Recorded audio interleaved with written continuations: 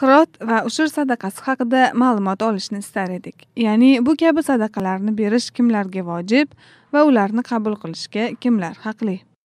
Hirot degan sadaqa yo'q. Hech kim bu gapni aytgani yo'q. Kim aytsa bekorni aytgan bo'ladi. Hirot sadaqa degan sadaqa yo'q. Man umrimda birinchi marta bu e, gap so'zga to'g'ri kelyapman. Hirot sadaqa degan narsa yo'q. Ushur sadaqasi ham bu ushur sadaqasi deyilmaydi buni. Bu dehqonchilik va bog'dorchilik mahsulotlaridan beriladigan zakot. Ana birov dehqonchilik qildi. Bug'doy ekdi yoki piyoz ekdi sabzi ekdi. Bog'dorchilik qilib demak o'sha meva chevalarni yetishtirdi. Ana o'sha narsalardan ushur berishi bor. Ushur degani o'zi aslida o'ndan bir degani. O'ndan birini lalmikor yerlardan olingan hosillardan beradi. Bu asosan bug'doyda bo'ladi.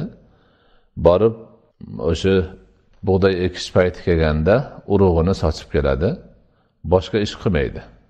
Yomg'ir yog'ib bug'doy o'zi o'sadi o'zi pishadi. Pishganda borib hosilini yig'ib keladi. Ana shundoq osonlik bilan hosil olgan inson hosilining o'ndan birini zakotga chiqarishi kerak. Buni ushur deyiladi. O'ndan bir degani. Agar inson mahsulot olish uchun o'zi suv chiqarib kelsa o'g'it solsa yana boshqa ishlovlarni bersa o'ndan birdan yarimini beradi. Buni ham o'sha e, ziroat bog'darchilik mahsulotlaridan chiqqan boyliklarni zakoti deb ataladi. Shuning uchun bu kabi sadaqalar degan gap ham o'zi o'zidan o'zi ortiqcha bo'ladi.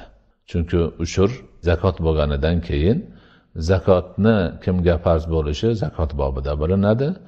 Zakotni olishga kimlar haqli ekanligi zakot bobida bilinadi.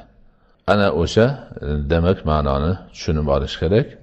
Shuning uchun bu berilgan savol mutlaqo noto'g'ri qo'yilgan savol.